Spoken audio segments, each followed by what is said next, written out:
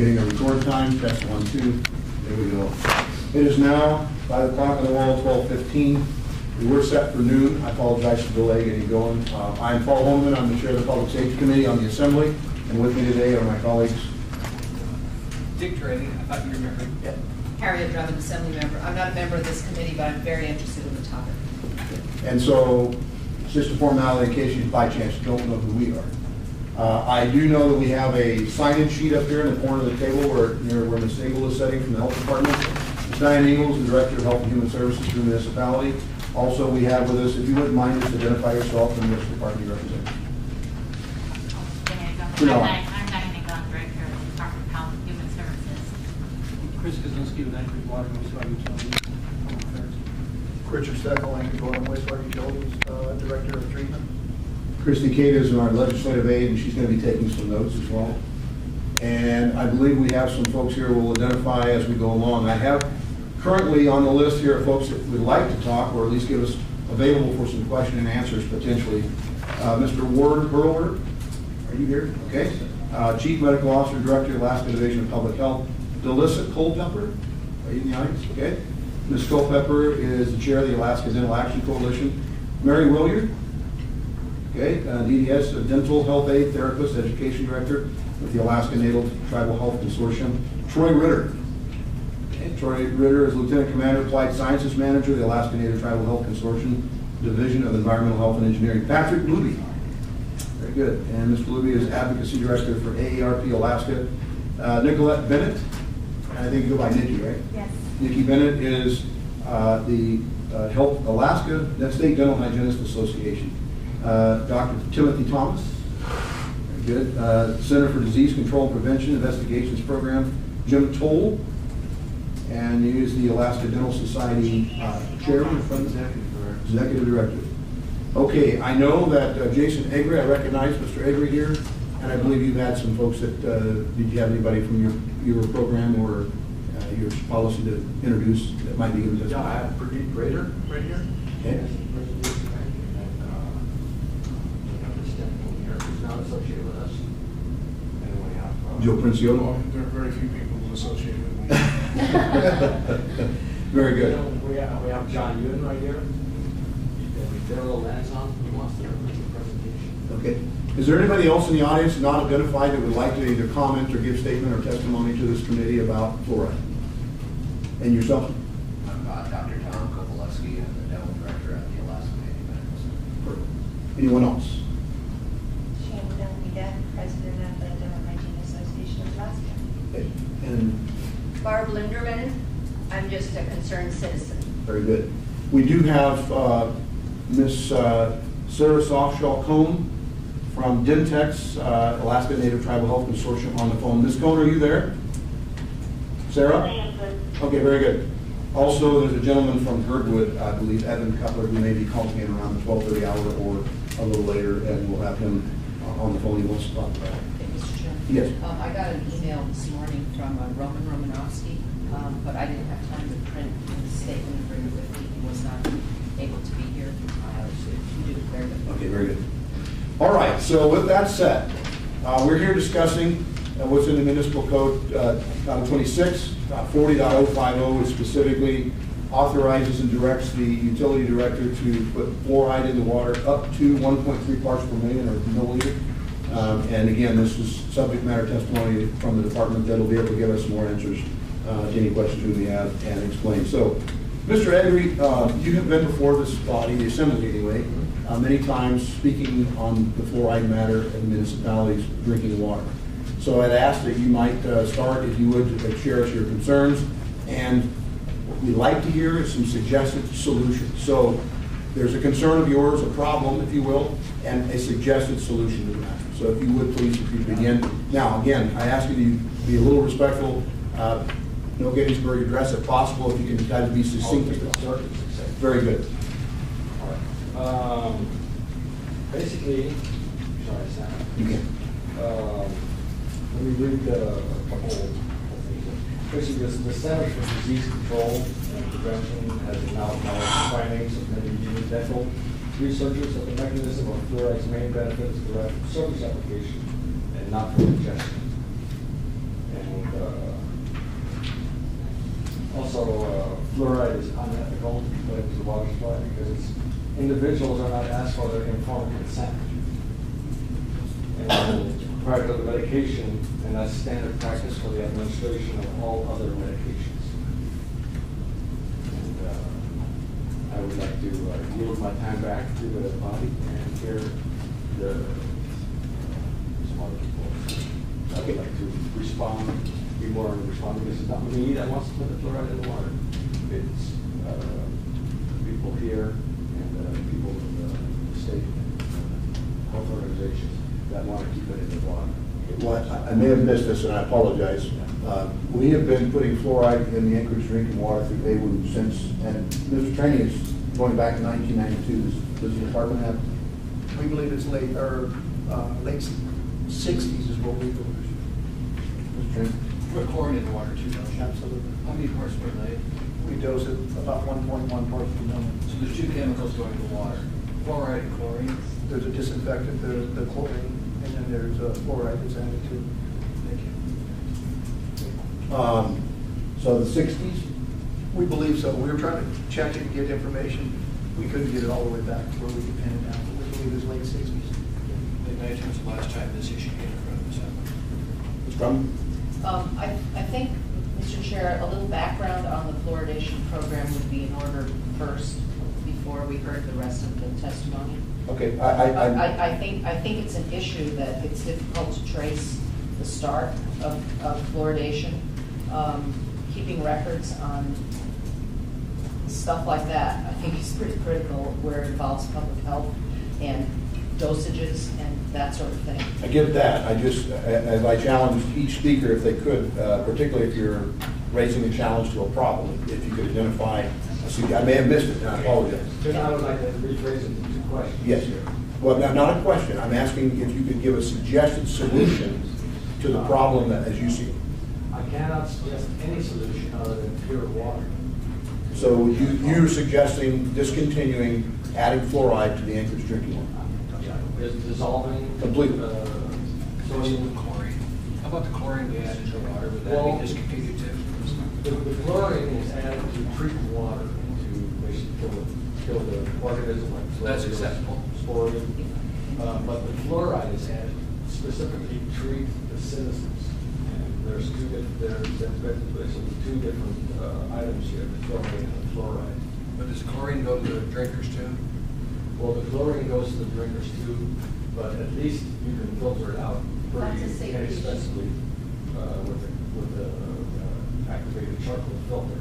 But they're totally, two totally different items really, because one is put in as a medicine, as a drug to treat people, and chlorine is put in to basically kill the organisms and keep the water uh, safe enough to drink. Ms. Drummond? And and doesn't chlorine evaporate?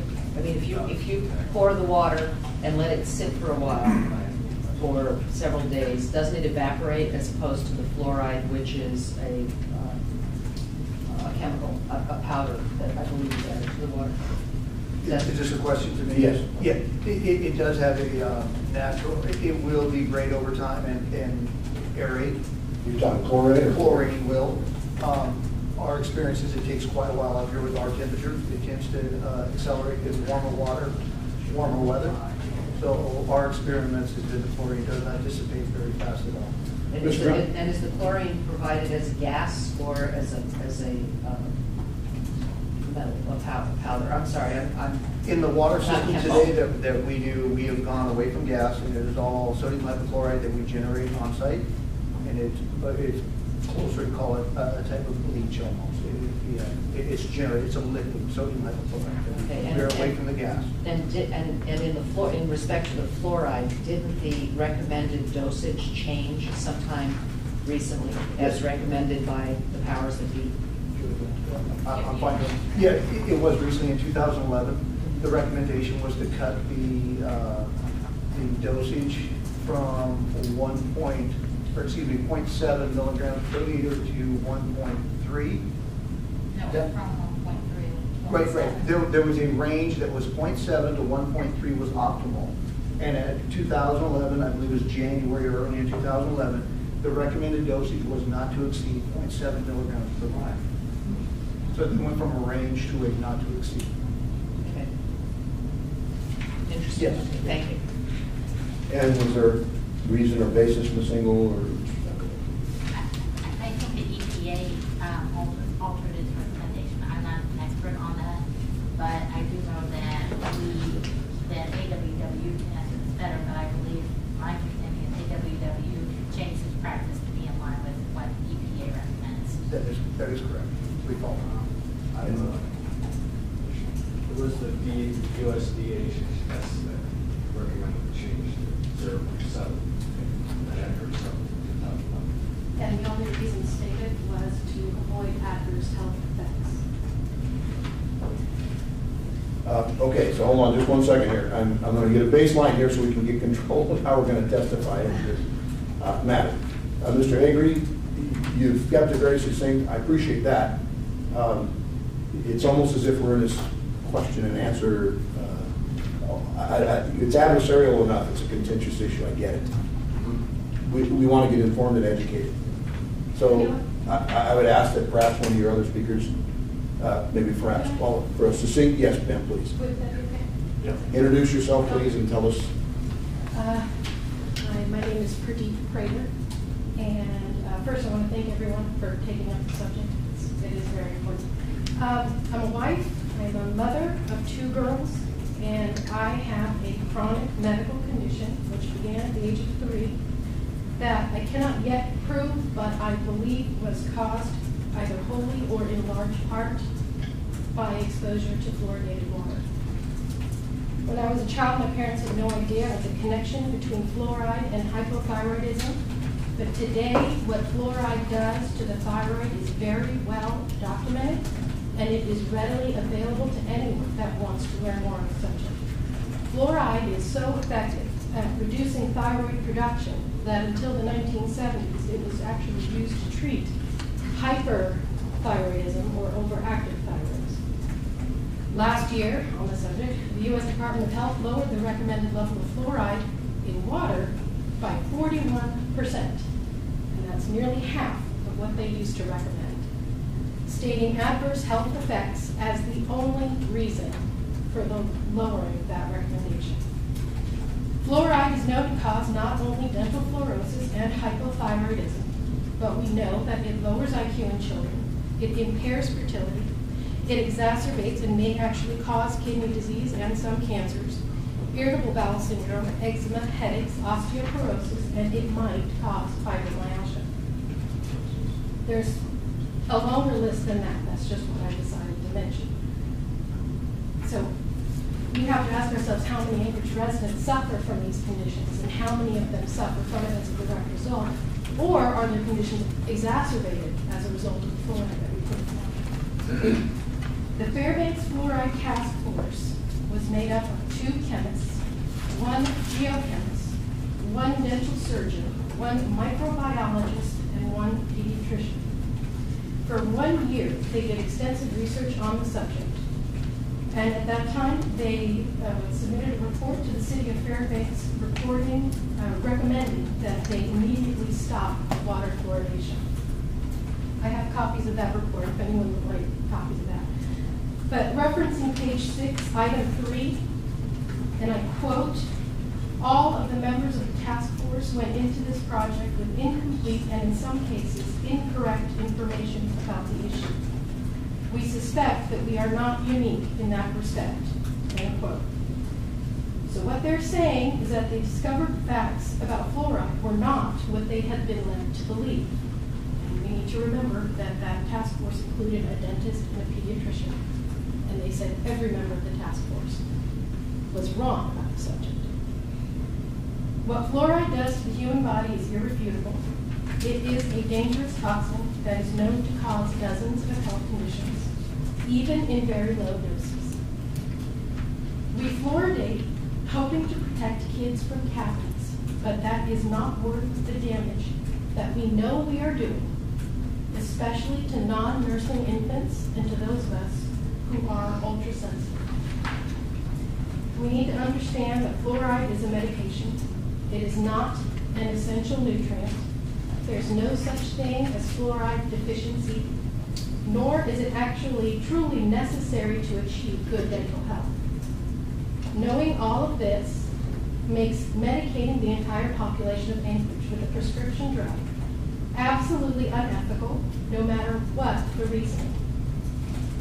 Fluoridating water is as logical as adding sunblock to the water supply. Both substances are only beneficial when used topically, but if added to the water, uh, water supply, sunblock would eventually make contact with the skin when you bathe, thus protecting you from UV rays that it would damage you internally. This is what we do with fluoride, it's the same thing, as if it's not a dangerous neurotoxin. In the 1930s, fluoride was grandfathered in, and the FDA has never approved any fluoride product for ingestion because of one simple reason. It is unsafe to ingest. Right now, there's over 250,000 Anchorage residents that are literally being medicated without their consent through the manipulation of a life-essential element, our water. I'm not asking that fluoride be outlawed. Let those who want it have it, but by choice. Kodiak, Juneau, Fairbanks, and Palmer have all stopped water fluoridation. And it's time for Anchorage to also put an end to the practice. Please stop fluoridating our water. Thank you. Quick- Quick question, uh, myself, but I'll start with Ms. Drummond, she just raised her hand. Thank you. Um, uh, This is a question for AWWU. How many residents does AWWU serve with its water of the total population of Anchorage, which is roughly 290,000? There's, our customer accounts, we have about fifty-five thousand accounts. And based on that, uh, we estimate we're serving about two hundred fifty thousand. That sounds a little high to me. I'm aware of, and in, in the interest of disclosure, I live in a uh, rather large well system in Spenard that serves about 100 properties. Um, We think about 400 people, four or 500 people, um, that has never been fluoridated. The well has existed since the 1950s. There are a number of wells of that size uh, throughout the system, and there are many, many homes on the hillside and other rural parts of Anchorage that have wells with no treatment uh, whatsoever. Um, And it's my understanding, without a um, demographer, Mr. Chair, in the municipal staff, uh, it's difficult to estimate how, what the, what the average number of, of residents per household is. Uh, As a former school board member, we had a figure of roughly 2.3 folks per household. So at 55,000, 2.3 is uh, uh, not even 150,000 people. So I would appreciate some more accurate numbers in terms of how many residents AWWU's water serves, as accurate as you can come to that at some point in this According to the. FDA's website, uh, AWWU services two hundred and fifty some odd thousand people, that was two hundred and fifty, but What date, what- what date was that number from the Uh, FDA? Because I'm talking about the the census that put our current population at 291,000 approximately. Oh, okay. The Uh, recent census. yes. And my guess is that FDA's numbers do not include the recent census. Yes, they may not, but that's all that I had access to, so that's, that's why I used that. Thank you. Well, at this time, we need to, I guess, stipulate something. I think it's a good question or request, Ms. Drummond, for the utility if it's possible, but I, I- I gather that it's rather difficult whether you get a house-to-house survey or use the census data. Um, If they ask that question, you know, how many people drink water out of your tap? That- That's one thing that needs to be clarified. We may serve fifty-five thousand accounts. If you took the average household of two point three, based on that, it would be somewhere around hundred and twenty-five thousand.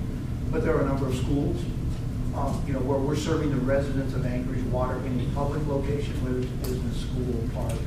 So that's where we, there may be a disconnect as to the number of residents of households served water in Anchorage, which would be probably closer to two point three times five, versus the number of residents of Anchorage that they consume AWW water. So you're saying like Providence Hospital, uh, There, you know, a school may have four hundred children in there that, and some of those are not on city I, water. I have an idea, I have an idea. Condo building, and apartment housing. Right. That- So it's a difficult number to pin down. But between the data collected by our property tax division, which can tell you exactly how many single-family homes, how many apartments, how many duplexes, et cetera, et cetera, et cetera, and then some, by some kind of cross-tabulation of those figures, you should be able to come up with a number. And I think that's something that the health department perhaps might want to address, Mr. Chair, but I think we need to have a number at some point, because there's a significant number of people in this community that do not buy water from AWW, my um, community included, which is in the heart of Spenard. And there are dozens of private wells in my neighborhood and all along Chester Creek, and I know various other creeks in this, uh, in this community. So we need a number, and I appreciate your number, but I believe it's high. Mr. Thank you. Just Elder before Vegetable fluoridated the water, even though not part of your water system. They have to go system for both bases. So we're looking at how many people are getting fluoride, it's not just in the city limits of Anchorage, it's also in the Norfolk Fort Ranch. That's why we need a number. That's why we need a number. One person is too many. Yes, ma'am. Hi, um, I'm just speaking for myself, not Could the you- other. We're taping, and I don't know if you signed it. Could you just give us your name, please? Oh, it's Kathy Kincaid. K I N C A I? C-A-I-D, yes. And I was born in Anchorage, and um, I always had fluoride in my water, and I have um, major health issues. I have MS, diabetes, arthritis, osteoporosis, um, psoriasis. That's not even all of them. Um, I don't have an appendix, tonsils, or a gallbladder. And I am allergic to a lot of things, chlorine being one of them. I can't go into a pool with chlorine in it. I take a lot of medications, and I don't want to take even one more that hasn't been prescribed to me. I don't know how much fluoride may have affected my health to push these diseases along. I can't take any of the drugs that would stop the progression of MS because I'm allergic to all of them. My doctor never prescribed fluoride for me or chlorine. I don't want them in my water. Are you an AWU customer? Oh, I sure am. I- I What part of town you live in, you? I live in the Pierce subdivision, um, on Seventieth, off of Arctic, down by Diamond. And you lived there for, I lived there for twenty-five years. I lived in Muldoon, where I was also a customer of Anchorage Water, wastewater utility. Thank you so much. Um, And uh, one follow-up question, Ms. Pretty. Uh, Your data that you used, is there a way to get, to get us a copy, maybe with our legislative aid here, of the data that you used and where it was from, if you don't? Yes, yes, I Okay. Do you know right off the top of your head, where you, are you collecting from different sources? Many different sources So you'll be able to give that to Ms. Kate, uh, legislative? Not today, I have to. get No, that's fine. If you can get it to, we'll get your information, or you- if it's signed in. I can back up everything I said. Okay. Mr.? I saw a couple of hands go up. Ms. Bennett, I know, uh, I'm calling you first since you had raised your hand, I recognize. Is there anyone that would be able to respond or, or at least give a statement on behalf of the fluoride that's in the water at this time? Well, I'd like to first state, I'm really sorry that either one of you are going through any kind of health problems. But there have been no definitive links um, between fluoride and thyroid disease and all these. There's possible links, that's like saying somebody who lives in a fluoridated community has a risk for cancer. Well, anybody who lives in a community has a risk for cancer. There's no actual definitive causation of fluoride causing cancer or some of these other diseases. It's just a possibility. Um, But same for the sun. Are you- Same for the air. Are you speaking, um, the Alaska State Dental Hygienists Association? Correct. Are you authorized to speak? What is the position of your association on fluoride in the water? We are for water fluoridation. It is At what level? the point seven, and the reason why they reduced it was because there are so many other outside sources of fluoride that you can't account for what, what other sources people are getting from.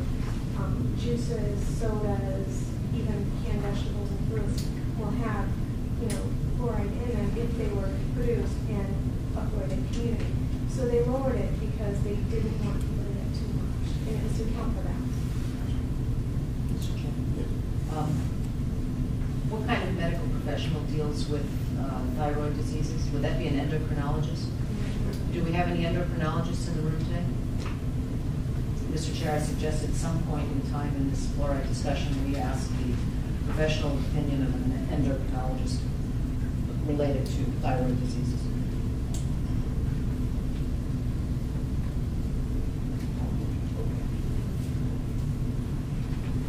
Noted. Thank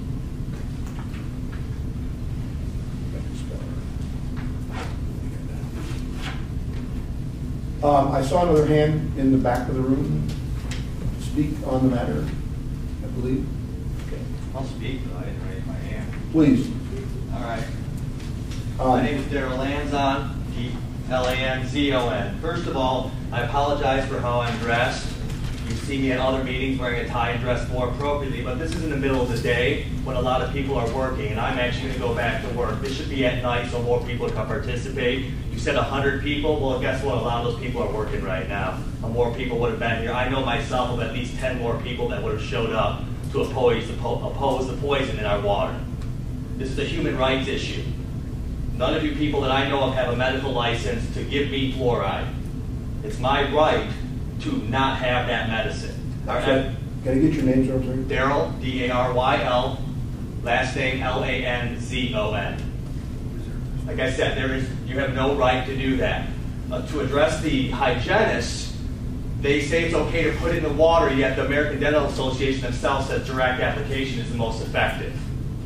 So there's, there's a difference there. The fluoride that is being put in our water is sodium fluoride. It is a, is a hazardous waste. It is a neurotoxin. It is not calcium fluoride that occurs naturally in some groundwater. There's a big difference between a neurotoxin and something that is naturally occurring. On top of that, there is a difference between pharmaceutical grade of anything and industrial waste.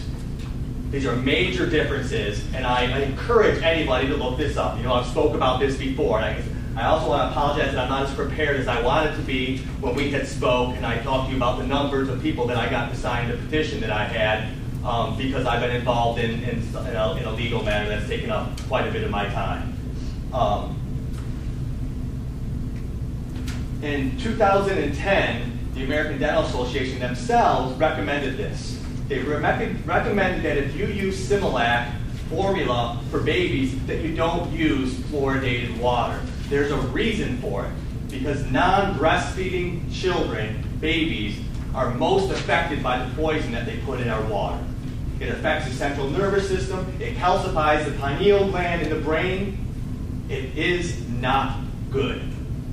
I told you I had a list of 50 reasons. I brought that with me to turn in. I also brought in the list of about 100 people that whose names I gathered in about 90 minutes in front of City Hall. I told you that I could get a lot more had I had time, and I know I can.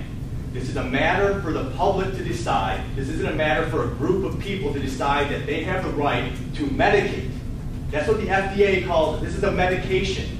I don't have a prescription for fluoride. I don't think anybody in this room has a prescription for fluoride. I don't want a prescription for fluoride, and this comes down to bottom line human rights, individual rights, constitutional rights. You don't have the right to medicate me without my permission. And that's exactly what you're doing. I have a bottle of water right here that comes from your taps that I have to put boron in to take the poison out in order to drink it because I can't afford to buy bottled water all the time. But I can take it out. I know enough how to get that poison out of my water. I know enough how to get it out of my body. And I continue to do it. You see it's a little cloudy. That's because I have to put lemon in my water, which I don't mind. But in order to get that little taste that tastes like baking soda out of the water, that's what you have to do. I recommend you all do it because you are being poisoned against your will. I can ask any answer any questions you have you want to throw at me. I appreciate if someone would throw a tough one at me. But actually, back to your numbers, actually, that Miss Drummond brought up the numbers. Um, it doesn't matter if it's 5,000 people, a million people, it's still against their constitutional rights to be medicated. Bottom line. If you want to get fluoride, go buy some Crest toothpaste with fluoride and rub it all over your teeth. I'm 42 years old. I've never had a cavity in my life. Guess what? I don't fluoride. It's negligible. It doesn't have any effect one way or the other. In, country, in, in countries in Europe where they have added fluoride to the water and then taken it out, there's been no difference. Our native population, as an example, has been massively fluoridated. And I will tell you, and I don't mean this as any slight against them, there are plenty, many of them, that have terrible teeth. If fluoride was so good for them, why aren't their teeth good? If fluoride was so bad for me, not so good for me to have, why don't I have a single cavity? Look, none. I'm not lying. Zero. I don't have them. I brush my teeth with peroxide and baking soda. I do it myself. I don't even buy toothpaste. I mix it myself and I brush it. I have nice, clean, white teeth. Nothing to do with fluoride. Mr. Drummond had a question. Tom. Yes, thank you. I want to thank you for coming, Mr. Lanzen. Thank you. Um, This is, this is a committee meeting. We're just beginning to investigate this whole fluoride issue. And we want to do some fact-finding before we bring it to the level of a public hearing. Um, I, I agree with you. It's hard for people to make it during the day when they're working, but um, that's the problem with all these professionals in the room. They, they're working and um, others are not. You know, it will get, it, it may very well get to the level at which it will be heard at a regular assembly meeting, which as you know, starts at five P M. And I, you said you wanted me to bring the, the Yes. list that I got of people that signed. Yes, if you could give that to Ms. Kate, I'd appreciate it, so she can have the, uh, we're, we're taking all the documentation, but if. Anybody else want to sign against poisoning your water? Um, also, I thought about something else that should, people should look into is apoptosis. I don't know if anybody's familiar with what that is, but apoptosis is related to fluoride, and one of the things that you'll notice, as most of you are at least my age or older, when we were in high school, girls were not developed like they are now. There's a big difference, and it should be noticeable to anybody in this room that you can see an 11-year-old girl that is, excuse my language, stacked. And that is related to apoptosis, and I encourage you all, Google it. Wikipedia will tell you enough about it, as terrible as a, as a source as that is. Can you tell us how to spell that, please? A P O P, I have written down T O S I S, Okay, thank you. I believe. So the other thing is, I know you had the documentation, I'll ask the same question I asked Ms. Pretty. Are there sources that you are referring to to get the information that you have? There's lots of sources. And are you able to I'm an provide that? Are you able to provide that to? I can provide you all kinds of links. We'd appreciate it All if kinds you of could stuff. get I was actually working, on- I, I was telling, like, after we had the meeting at the last assembly, I, my intention was to send you all an email so I could give you access to the stuff that I have, and if you choose, like I spoke to Mr. Trombley at that meeting about. Sure. And I have started an email, but I just haven't had time, because I've been writing twenty-five pages of testimony. You know, so I really haven't been able to get to that, it's taken up all my free time, but I had every intention of sending all of you, you know, the access at least to the same information that I have. So if you could get to Ms. Skata, um, an email where she can, you can I'll, I'll tell you, like, this weekend is a reconvening of the um, Republican convention that I am involved in in, in some terrible ways.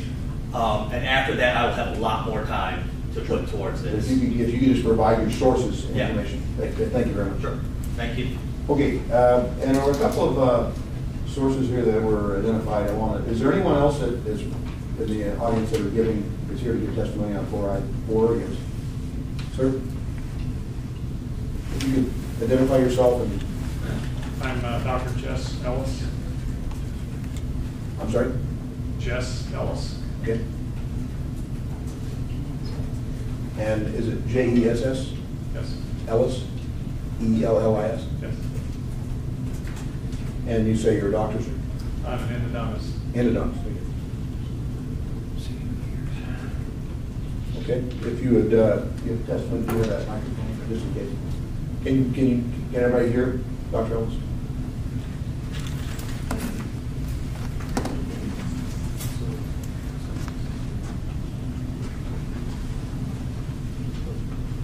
Sorry about that, we don't have a stick mic, so just, it, it close. Okay. Um, uh, I'm a sort of a practical type of guy. Uh, you might notice I'm wearing Carhartts uh, as opposed to a suit and tie and whatnot. Uh, I grew up on a, a farm. Uh, dentistry was the last thing I expected to find myself in. Um, but uh, much to my surprise, uh, uh, I did. Um, I didn't expect to find myself in Alaska, but I'm here. Um, I've been uh, an itinerant endodontist uh, uh, the last uh, 23 years in Alaska. I've uh, practiced uh, in Fairbanks and Anchorage and, and Juneau and Soldotna and Homer and Wrangell. And, and so I've, I've been around. I've seen uh, a lot of teeth. Uh, it's uh, probably uh, tooth decay that uh, is my uh, uh, main source of uh, of revenue and stuff like that. Um, and uh, I see that in certain generations and different populations, there's a lot more tooth decay than others and stuff like that. Um, and and so I look at uh, at fluoride as uh, having been a, a great benefit to a lot of people as far as the uh, reduction tooth decay. Now I understand there's people who who uh, would uh, dispute that, and they're entitled to their opinion. My opinion is that it has uh, been a benefit. Um, uh, I, I see people from certain regions of the country uh, who have uh, cavities, fillings, you know, from from uh, one side of their mouth to the other, and uh, then I see other populations who uh, don't have a single cavity.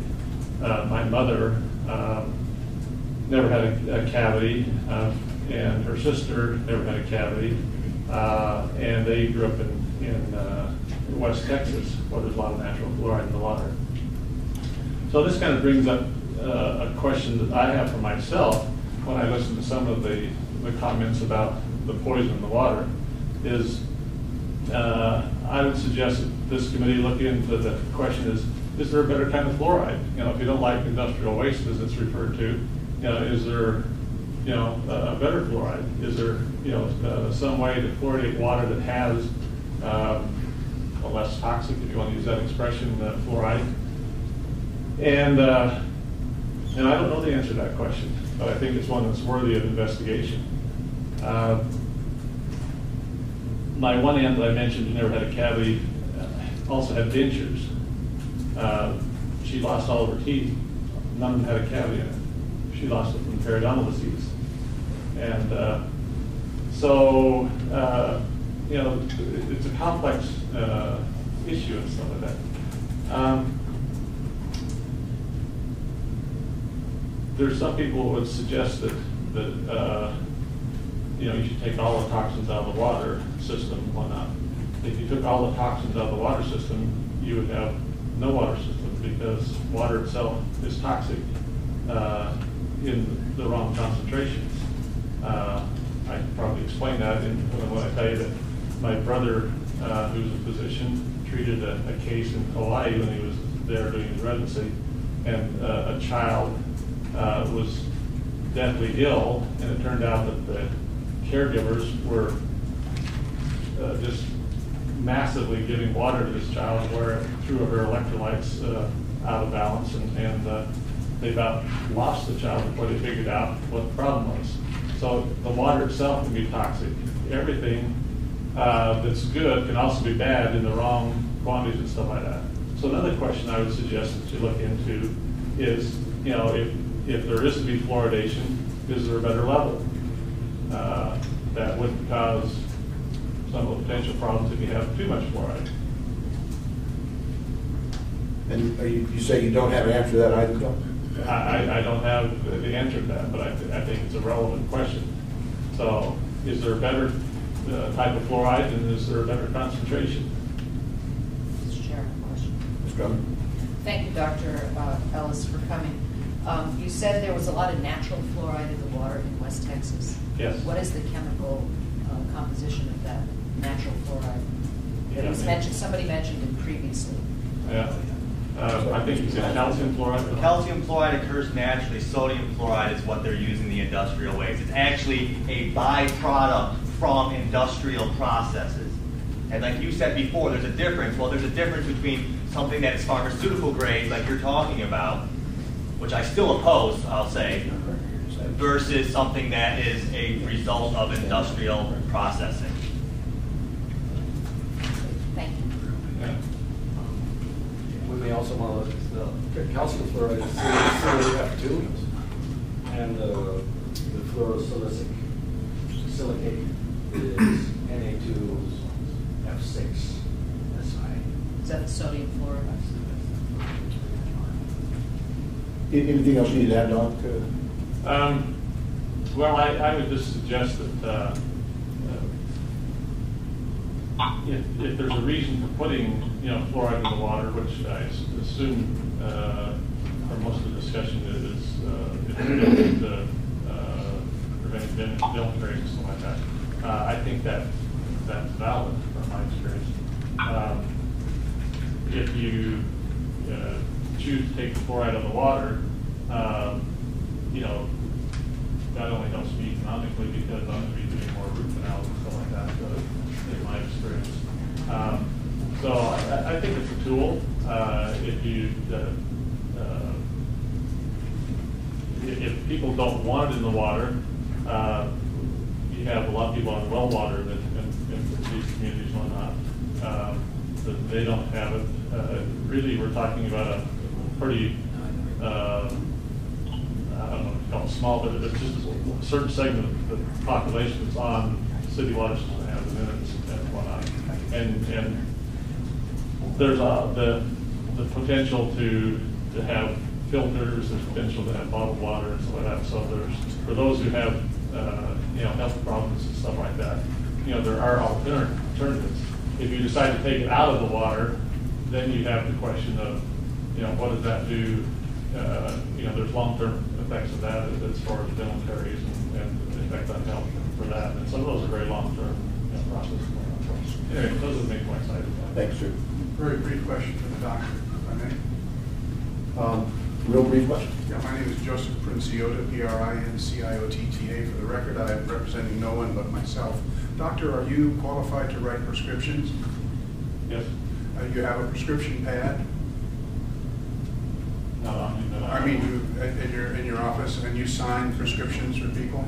If if it's dental related, Do you issue a prescription for a patient you have never examined? try not to. You have done it in the past? No, You've actually try not issued- I- Is your answer that you've actually issued a Mr. prescription for a patient? I I gave you a little latitude, you ask a question, you gotta continue to pepper the question. Mr. Princiota, I I think we get your point. Um, Do we have an answer from the doctor? He said he tries not to give uh, prescriptions, I'm gonna cut that part off. Do you have anything else, Mr. Princiota?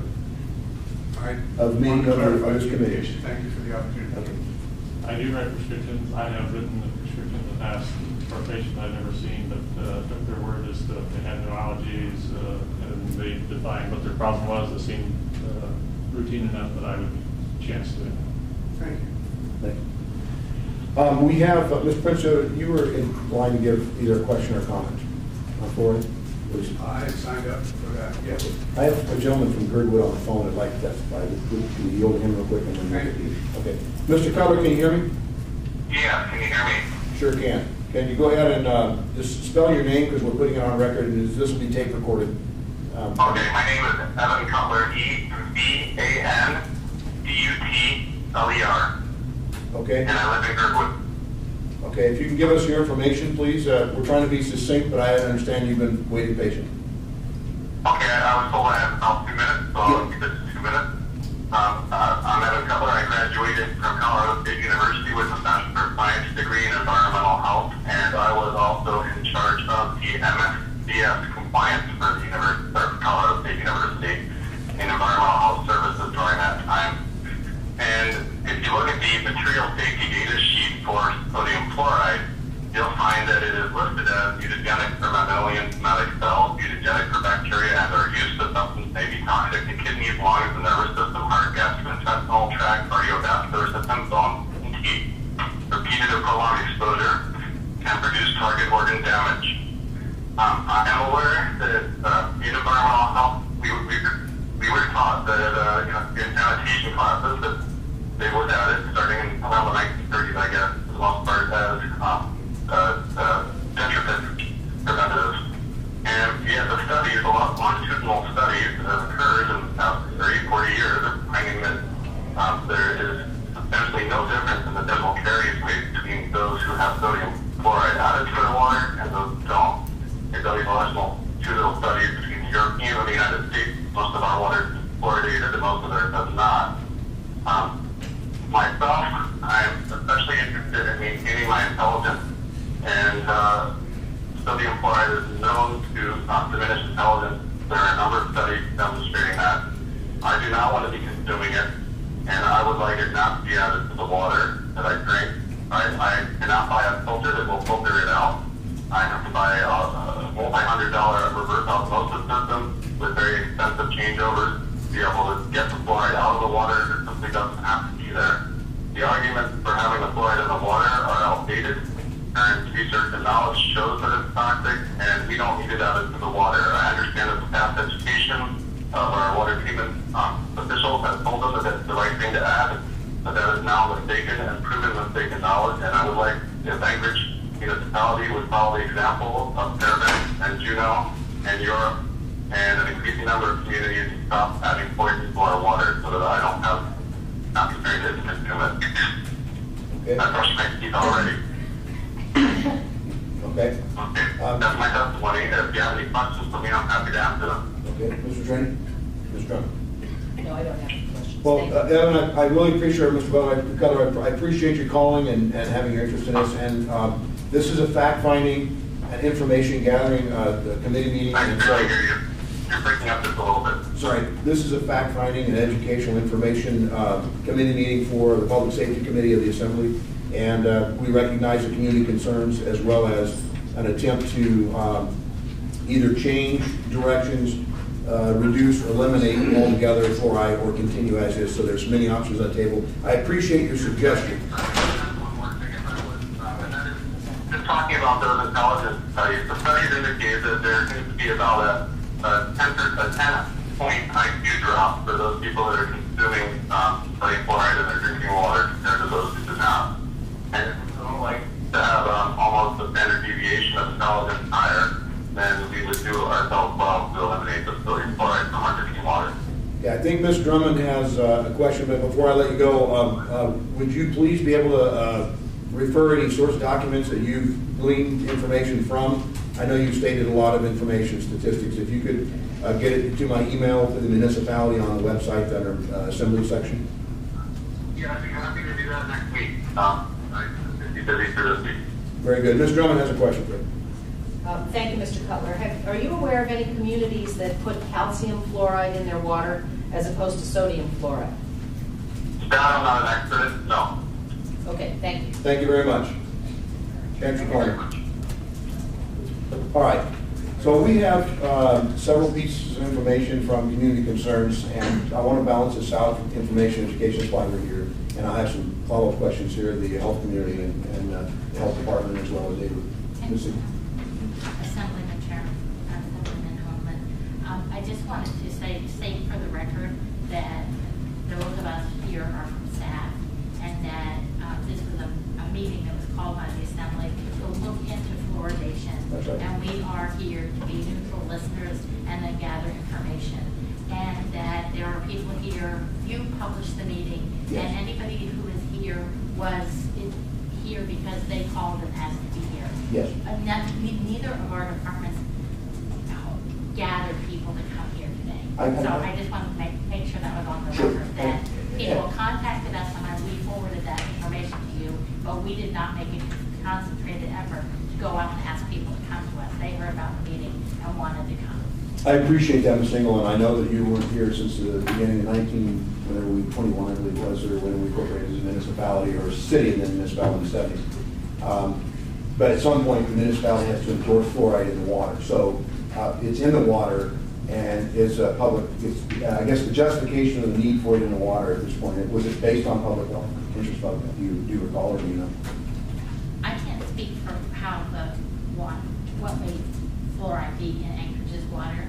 I know that fluoridation was, is considered to be one of the greatest achievements in public health in the twentieth century in preventing dental caries. And, and, but in terms of Anchorage, when, when they decided, I didn't live here when they decided Sure. to, to start it. Sure. Um, and it, I think that our, our current position is, um, that we, that right now it's part of municipal code and that we fluoridate, and I think we all agree on this, we fluoridate according to the law.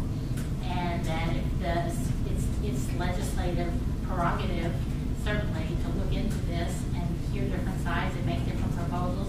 And we, we will answer your questions and respond as best we can. We may not have the answers today. And I will give, lead back to Ms. Drummond about specific data and information she may be looking for. It's not a bad idea. However, at the same time, recognizing the difficulty going back to the early days, uh, if we could find where those documents are, anything that's stated in the justification. Oftentimes, like, it's like the Constitution of the United States, the people who were there, our founding fathers, it's difficult to know what their intent was, based on what you read on a pen and piece of paper. But, but I would just reiterate that we're here to be a resource and to get information, but we Yes. did not, this is something that you, you brought forward and we're here. to That's correct. Support your interest in looking into the issue, but we don't, the department doesn't, the administration doesn't have a different position other than what's part, currently part of the municipal code. And we can't really respond to anything that we don't have a proposal. Okay, so on the list of things that we need facts for, it may not be the, the job of either of these two departments, but we need a history of the municipal code, how fluoride got into the municipal code, what year that was done. We have paper going back to God knows when. Um, the clerk's office is certainly capable of doing that, getting that research for us. Um, but we need to know the, the historical, the historical piece of how fluoride came to be placed in our water. And Thank you. Also understood that you were interested in trying to get a more accurate number of how many people are exposed. That's correct. And, Right. um, and getting information from an endocrinologist at some future date. So Okay. keeping notes of things that you are interested in, and we are certainly happy and willing to assist with you getting. Very good, thank you. And just so you know, from the assembly members, colleagues, uh, Ms. Kate is actually, as long as the computer technology stays with us, she's taking notes, so we'll have some good information. So I'm really interested in learning from the Centers for Disease Control Prevention in the Alaska Dental Society. Dr. Thomas, are you willing to give us, Dr. Thomas? I'm here, I, I no longer work for the Centers for Disease Control. Oh, okay. Uh, I work for Alaska Native Tribal Health Consortium. Oh, okay, I'm sorry. Thank you for clarifying that. Um, If I, I'll get back to you just a minute, and uh, Dr. Toll, Mr. Toll, is it possible to uh, get the position of the Alaska Dental Society about fluoride? It certainly is. Uh, Mr. Chairman, committee members, I am Jim Toll, the Executive Director of the Alaska Dental Society. I am not a dentist. Um, I'm an administrator of a professional organization. The Alaska Dental Society is a constituent of the American Dental Association, and we have seven component societies, of which the Anchorage Dental Society um, is one. The position of, uh, I will refer to it as organized dentistry, those dentists who choose to join the professional society, um, is one of prevention. And they view, uh, based on the historical evidence, research, and scientific evidence that's available to them, that community water fluoridation is an excellent tool for the prevention of all disease, primarily caries. Um,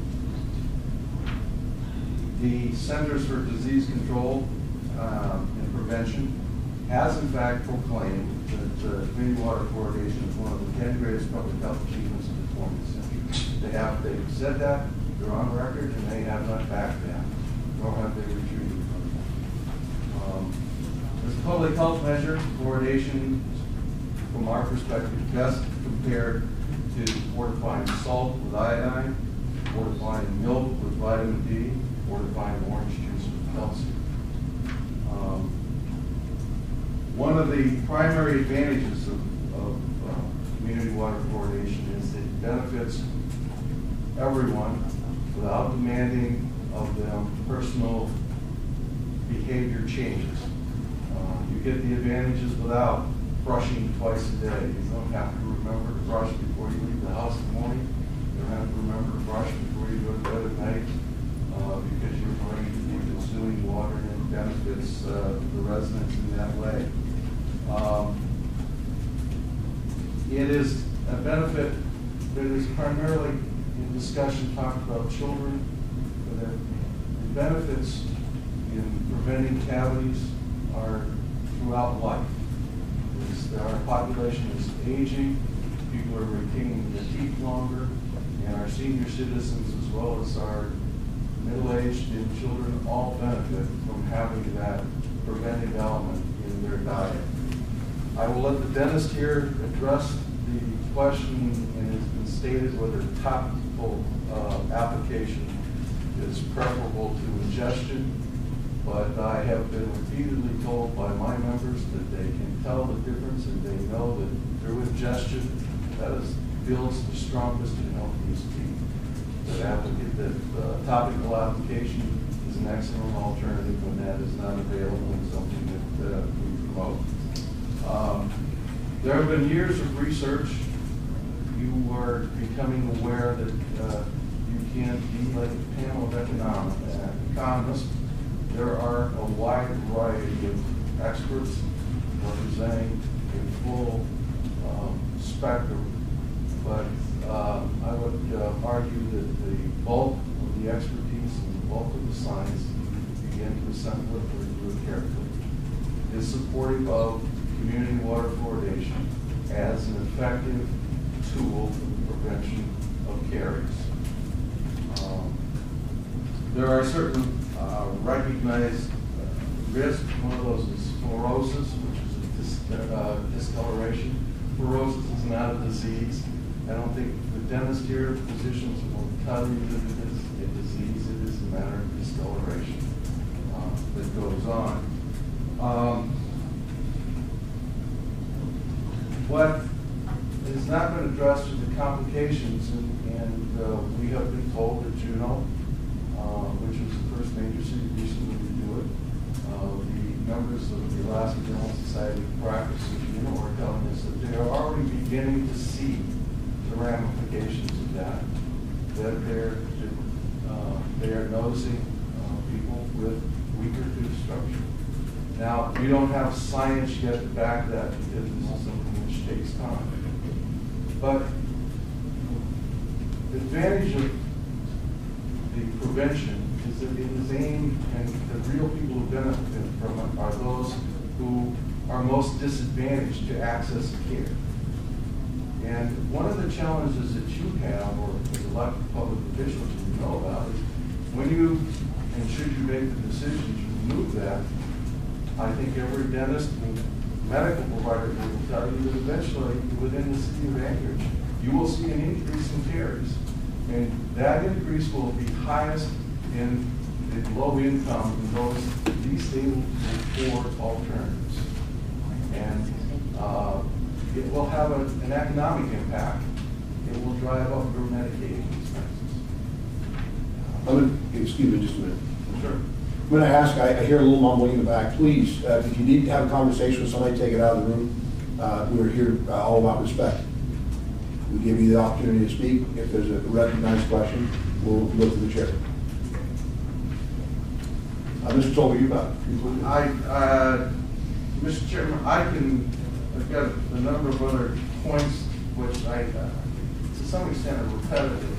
But again, with prevention and and with uh, aiming at those people at least, the problem is, and and Dr. Will tell you, that when you get massive decay, which is uh, all too common and unfortunate in low-income children, you have to treat it in an OR with a number of people there. And uh, again, I, the, the reality is that you and I as taxpayers are the ones who have to pick up the tab of that.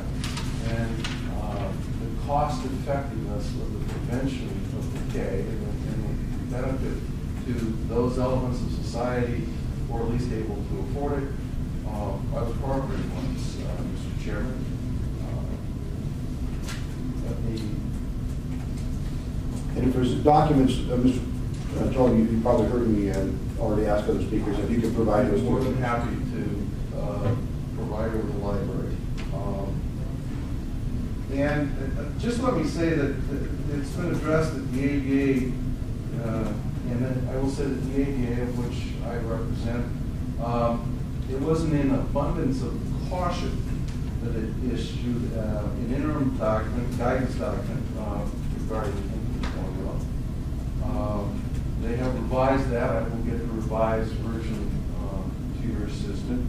Um, And it is a concern, but uh, there are ways to deal with that, and the ADA and its constituent societies, including the Alaska Dental Society, stand firmly uh, in favor of continued our water fluoridation.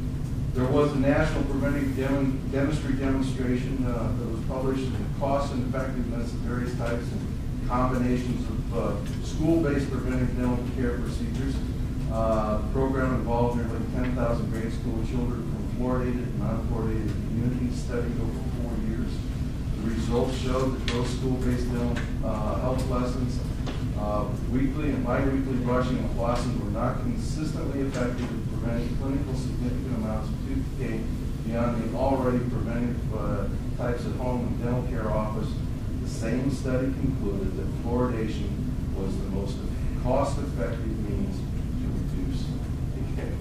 And as elected public officials, I would remind you, it is the most cost-effective way that we have. Mr. Chair, a question? Uh, Mr. Toll. Thank you, Mr. Toll. Um, You said that the ADA provides a document regarding infant formula. Can you, can you describe, um, without providing the document, can you briefly describe how they propose to handle fluoridation in, in, in in infant formula? I'm, I'm sorry, I can't answer that off the top of my head. I can get that to you. Yeah, I would, I would appreciate that, because that, that has been suggested as a, um, as a beginning point to me as an elected official, is to, to insert a warning, um, uh, a warning in the AWW water bills to parents of infants who mix formula with fluoridated water, with their domestic water. Um, and I think it would be crucial to this organization to know how the ADA proposes to, um, to handle that, that concern, which is a big concern because infants are, uh, have no control over what goes in their body. They can't go out and shop for non-fluoridated water. They are totally dependent on their, on their parents to, um, control the amount of fluoride that enters their very small systems, which is quite a different size person than an adult. So I, I would appreciate, and you, don't- you don't have any sort of summary in mind, I mean, it se- it seems to me that you should. Or anyone else, any room aware of, of what So, the ADA proposes. these- Ma'am?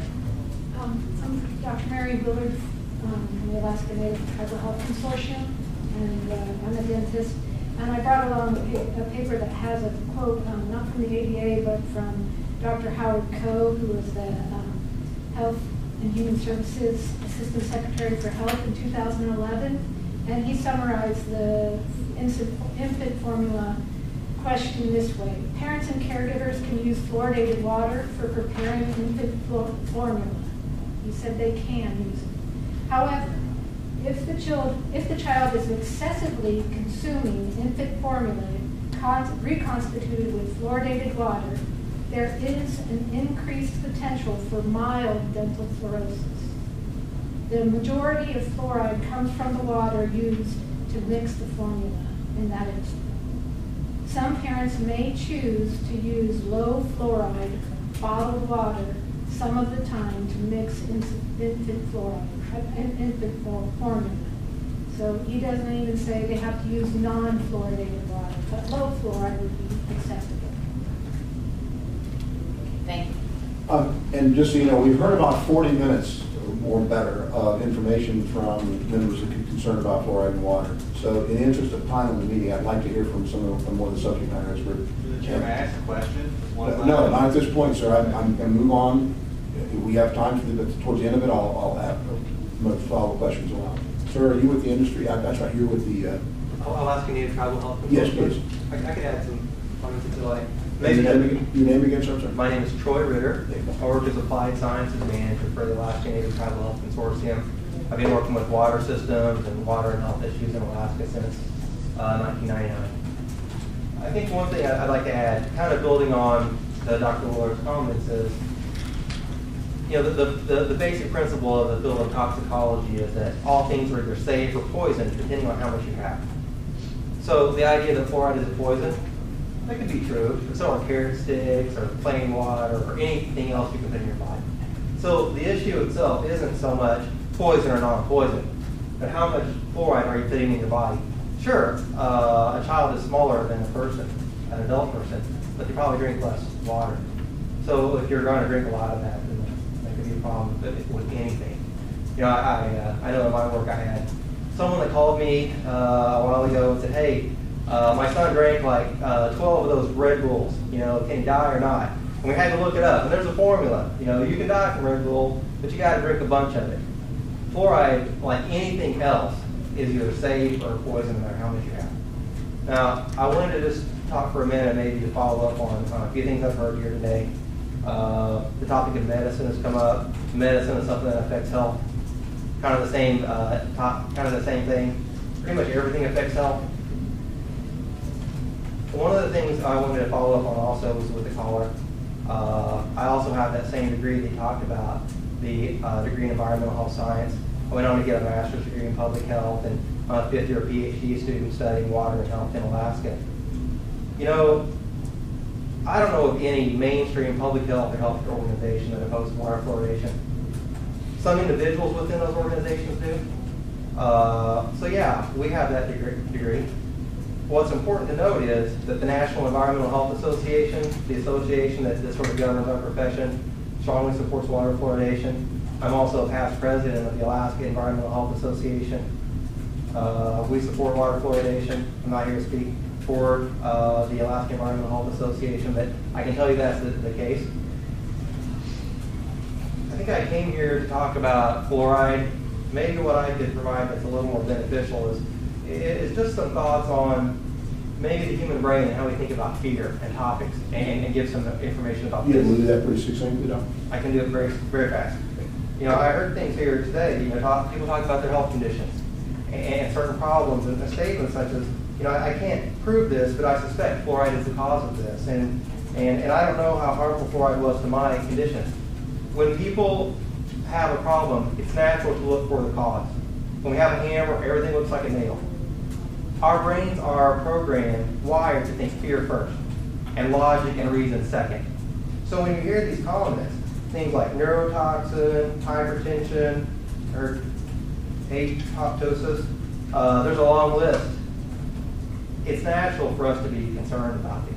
I think what I would caution uh, the assembly and, and all, everyone involved in is to think through these issues, to rely on the experts that we have put into positions of, of, of authority on, on, public health topics in Anchorage, and, really let uh, the logic and reason come forward and let the fear dissipate under it.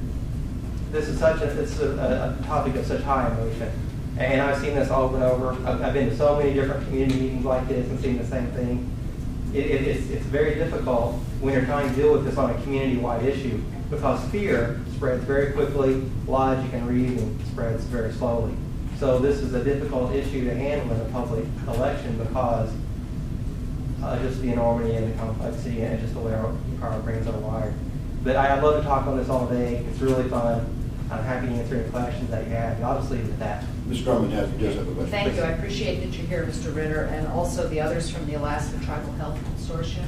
Um, I'm just curious who your patients are at the Alaska Tribal Health, because this is this we're talking about Anchorage's water, and I know a lot of you folks have a statewide perspective.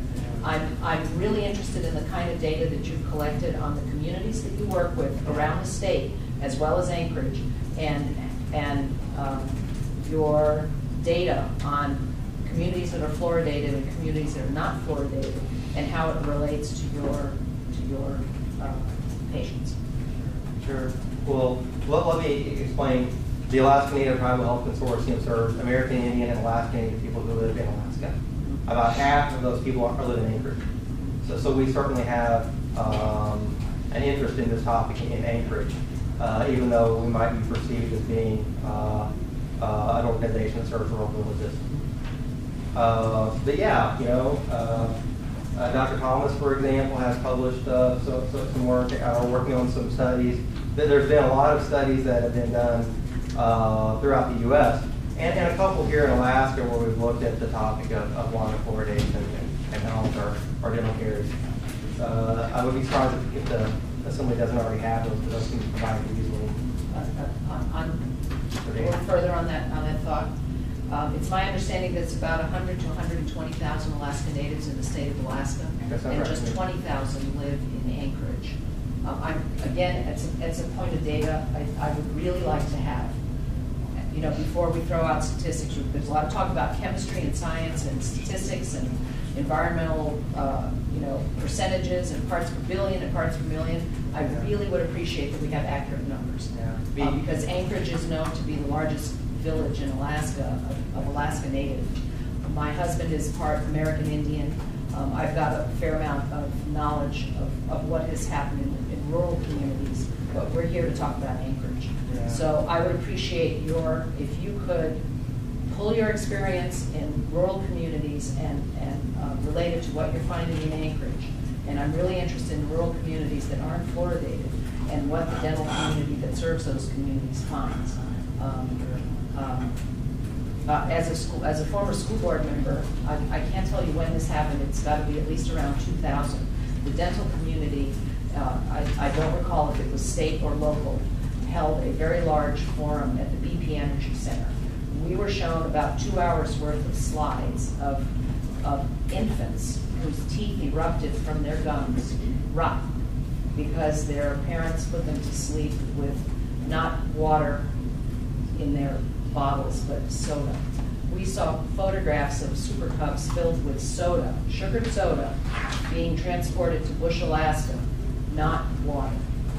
Um, There are some serious health issues that all of you know result from, from uh, the inability of rural communities to get clean water um, and the inability to control the amount of sugared sodas that they drink. And things have changed in 10 or 12 years, I'm sure. Um, But fluoride is not the only reason that these communities have serious uh, dental care issues, and we all know that. And our school our school district has done its best to get sugared sodas out of the, out of the schools, out of, out of, uh, uh, out of vending machines and so on and so forth. So there are a lot of other issues besides fluoride that affect caries, and I'd like everybody to, to, to stay on top of that. Well, Um, thank you. And I, and I, thank you. I'd like to follow up with Native uh, um, Health Consortium, Native, Alaska Native Tribal Health Consortium. Been some commentary, and I know, uh, thank you, sir, for your, uh, with your, uh, uh, subject matter area. And I, maybe it is you, Dr. Thomas, since you uh, identified you're now with, is there someone from the Alaska Native Health Tribal Consortium that has a position, official position on fluoride in the drinking water in Anchorage? Is something someone would like to be able to state on behalf of? Someone authorized? Well, let, let me say, I'm not, I'm not here to give, uh, the organization's position, but I can tell you that, uh, I worked at the Alaska Native Tribal Health Consortium since two thousand three, and, and we have programs that specifically, work to promote, uh, water fluoridation in, in villages, uh, and, and keep people, uh, to ensure that it's used properly.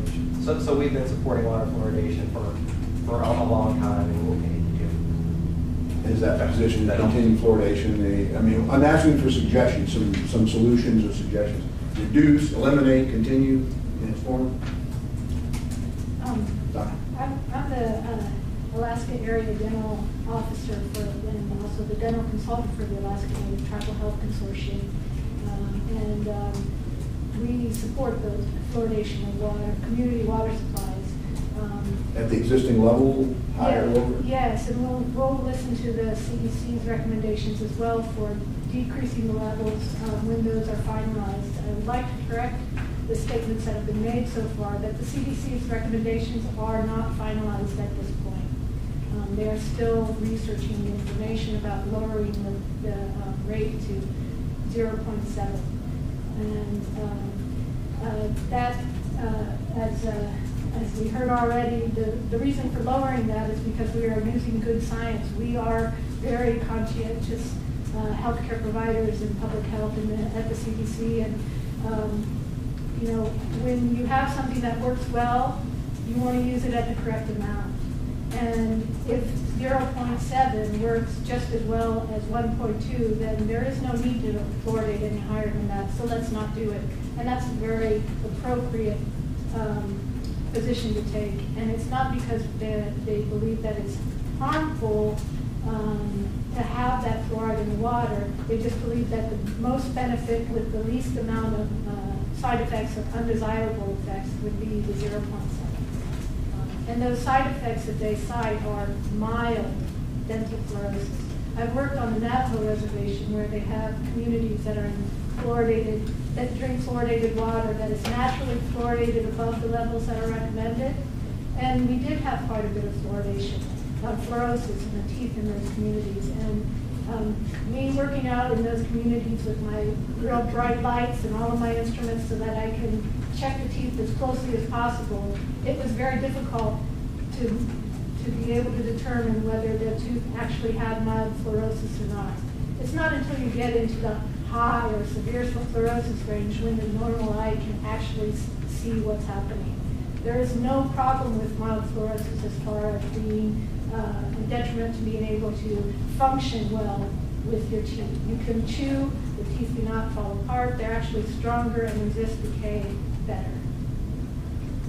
Mr. Chair? Yes. Um, Is it my understanding that the AWW has already reduced the amount of fluoride? Yes. And was it based on the same kind of good science that Dr. Ritter is talking about? It was Excuse me, based on- Dr. Williard.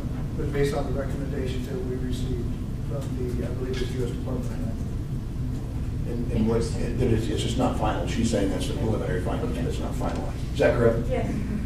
But- So your, your recommendations to your member communities, the communities that you serve, is not final yet, so that none of them have reduced the amount of fluoride that they put in their water? If I can uh, give some, some history to this. Uh, In uh, 2002, the Alaska Native Tribal Health Consortium sent letters to communities. uh, I believe all the fluoridating water systems in Alaska saying that, that this, uh, that this change was coming down the road and that if they wanted, they could be proactive and go ahead and implement the new level. And, and as a rule, uh, the, the village communities in Alaska have been uh, operating at the, the new lower rate, uh, or the new lower level since, since that time in, in general. I can provide a copy of that letter. To Thank you. Okay, yeah, that, Um, So the change in Alaska really isn't as much of a change. We've been doing it for over a decade. I'd like to hear briefly. Ms. Culpepper, is there anything you'd like to add on behalf of? Um, I kind of want to go because I, my name is Lisa Culpepper, I'm the chair of the Alaska Dental Action Coalition, and, um, I, my day job is with the Alaska Mental Health Trust Authority. We, Um, support dental issues because we, our beneficiaries are usually low income and have surprisingly a number of dental, um, problems. But I've been letting all, our coalition has forty organizations, most of which are in the room. And so we have a fluoride committee that, that Troy has um, been chair of and working on fluoridation of water um, systems as well as topical fluoride application in other ways uh, across the state and looking at um, education and other things. And we just wanted to make sure that everyone heard both sides. And I'm really pleased to hear that you're fact finding and looking. I mean, if, you know, from any public health person, um, will, I'll tell you that um, we want to not have um, adverse health effects. But when people say adverse health effects, we have to be very specific and we have to look at, except, you know, what the general scientific community says. Um, um, that to make sure that the um, studies are reputable and have, are from um, good sources. And then look at things. There, as Troy said, there's ups and downs. So we're glad that you're doing your fact finding. Any of our um, professionals, other people are happy to help you find the studies or other um, information. We have a letter um, from the Dental Action Coalition um, just supporting a good process um, because we, we fear that maybe in some of the other communities, that the process is a little too fast, a little too emotional, without looking at, you know, where those, um, studies are coming from and, and balancing that with, with public health. So your recommendation as a, as an association? Um, as, as a coalition, as a coalition, um, I would say, um, all of us have resolutions within our individual organizations, um, supporting fluoridation at, at levels recommended by CDC. And, um, And I, I will say I'm also um, a two-time past president of the Alaska Public Health Association, and, and we have um, resolutions in favor of fluoridation. Mr. Luby from AARP, is there a position? Yeah, but I was wondering, Dr. Culver's our chief medical Yes. officer for the state. I'm gonna get to him. Okay. I, I didn't know if you had a succinct statement or, or. Uh, yes, yes, I'll be, I'll be very brief. Uh, my name is Pat Luby, L-U-B-Y, I'm the advocacy director for AARP in Alaska. Uh, Mr. Chairman, members of the committee, um, in World War One and World War Two, most of the people who were declined from the draft for oral health purposes because they could not find six opposing teeth, upper and lower. And we've come a long way since then. uh, grandparents today can look at their grandchildren and know that primarily because of the dental care, but also because of the fluoridation, uh, that their, the of their grandchildren are much healthier, particularly in some of those communities that we already have fluoridation. Only about half the United States is fluoridated. AARP's position is that we ought to be one hundred percent fluoridated in our water, public water systems. And, and we would encourage Anchorage to continue with what they're doing. There are really no medical organizations, no dental organizations, no health organizations that have come out against fluoridation. You know, people are, good science being done by the CDC in particular, with those recommendations. I'm, with it off the, uh, there's a lot of experiments with, uh, with fluorides kind of to do them as sealants with children, and that's been somewhat successful. All of us drink water. Not all of us are going to have kids that have sealants. And one of the things that we want to make sure is that all our kids, all our adults have access to fluoride in the public water systems. Thank you very much. Dr. Hurlburt, if it's possible, uh, sir, to, I know you're the uh, Chief Medical Officer and Director of the Alaska Division of Public Health, correct? Yes. And is there uh, anything that you'd like to be able to share with us on behalf of the, I mean, I know this is a statewide issue that you're overseeing. Um, Is there something that we should know about from the state level recommendation or knowledge of some of the information that's been received today? Um, Again, Mr. Chair, uh, for the record, my name is Ward Hurlburt. I am the Director of the Division of Public Health, Chief Medical Officer of the state of Alaska. Um, I first came to Alaska in 1961. Uh, Spent the first couple of years in Dillingham, and Alaska has been our home most of the time since then. We spent some time outside, uh, but the rest time Anchorage has always been our home. Uh, In the 60s, I don't have the documentation that I'm sure uh, the department has here, but clearly the discussion adding uh, the fluoride in the water was related to dental caries, Um, and that was the reason it was done. The, the use of fluoride was kind of a natural experiment, where it was noted that in places where there was high fluoride in the water, there were problems with the fluorosis, with, with the whitening and then blackening of the teeth. But it was discovered that it, that it did reduce dental cavities. Uh, and so then uh, it was found that at a low level, at the level of the 0.7 to 1.2, 1.3 uh, parts per million, you had some whitening in about 30% of kids, uh, but otherwise uh, a reduction. And initially, nationally, the reduction was about 50 to 60% in dental cavities. With the addition of fluoride to toothpaste, with the use by dentists of uh, fluoride uh, treatments, uh, that reduction now is, is more in the neighborhood of 25 to 30 percent because there is fluoride uh, coming uh, in, in other ways. But it was a natural experiment there, uh, and, and that has been demonstrated through observational studies nationally.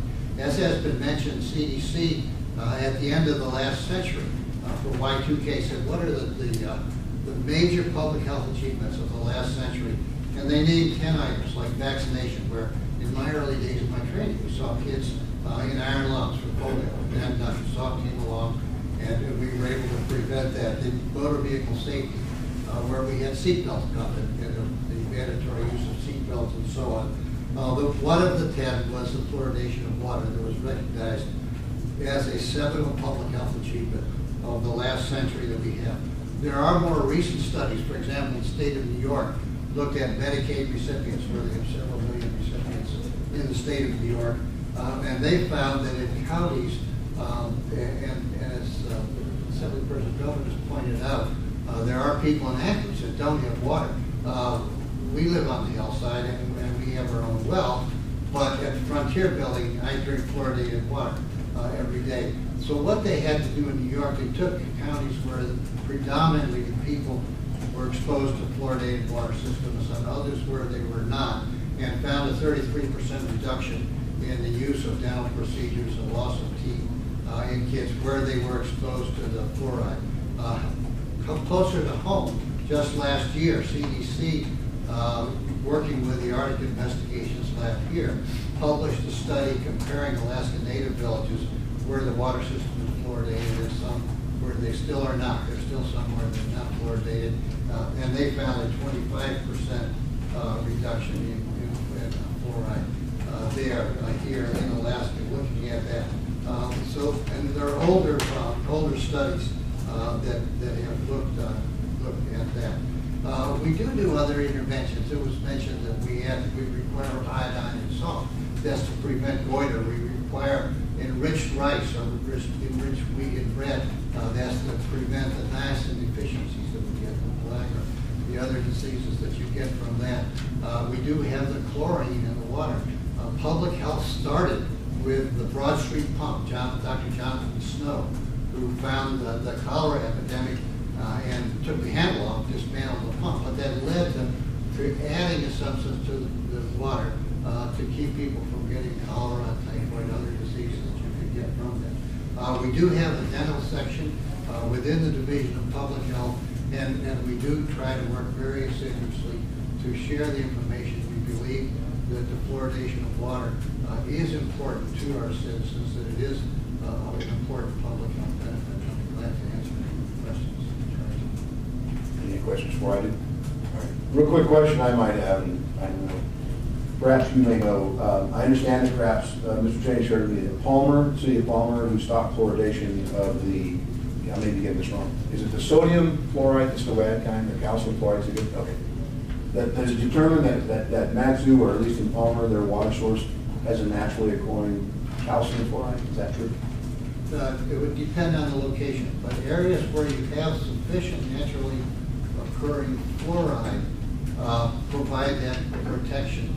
Uh, I am not aware of uh, evidence that, that I'm aware of that I find credible, that sodium fluoride is a poison or is bad for you, or that calcium fluoride is worse.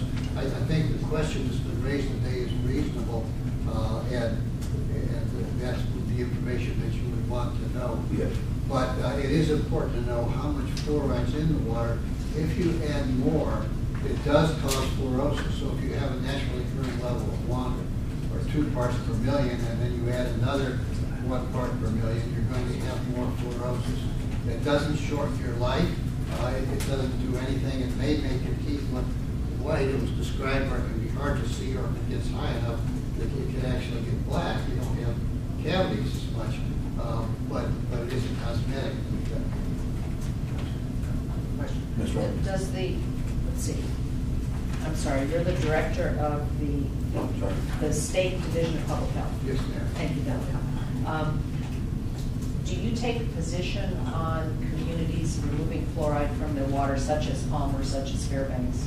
Um, Or does the state not govern those types of decisions? The state does not take a formal position in that the state does not believe its role is to intrude into local affairs. Um, That's a part of our overall philosophy here in Alaska, so neither the state legislature nor the governor has taken a formal uh, position. We do have our dental public health section, and we have worked with Fairbanks, we have worked with Palmer, we worked with Juneau.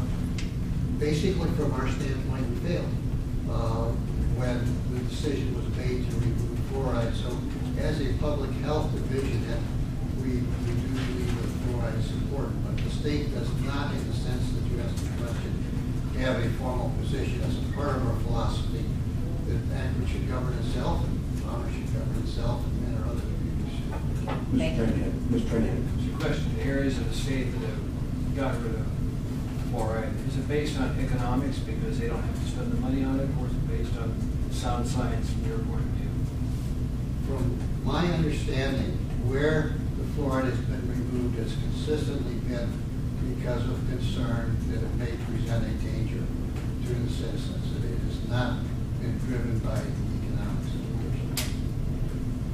the And, Mr. Princiotti? Uh, Just a brief question for you. Do you know whether or not the substance that's being put into our water has been specifically produced for the application of putting it in our water, or if the substance that's being put in our water happens to be a byproduct of some other uh, chemical process and thereby has actually no value anywhere else except to stick it in our water at our expense.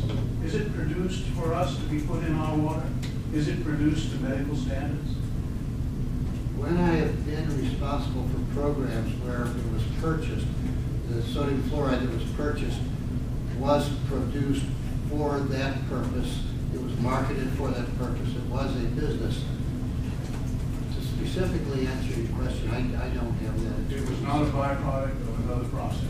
It was originally specifically, is that true? Mr. Princiotta, that's my understanding. I, I want to make sure we, we, we've got a limited time for the room and availability for the meeting that's been called public. So I want to continue to speak as long. I appreciate the dialogue, but. Trying to develop a fact. Uh, okay, and I understand. What we're going to do is, is my understanding, just so you know, and maybe perhaps they would folks in, different vendors for the chloride that you, pur- or fluoride that you purchased to put into the product, is that right? Have you used different vendors throughout the history of that? We go out to bid typically every three years for a contract. So my understanding, Mr. Princiotta, is, to get to your question, is there have been products developed by different vendors to, um, for the use of this, this treatment? I'm sorry, sir, that was not the answer. Um, That's not the answer that Matt gave. I- I'd like to state that um, there is a quality and safety of fluoride additives. Um, It's a standard 60, and it's a program commissioned by the Environmental Protection Agency.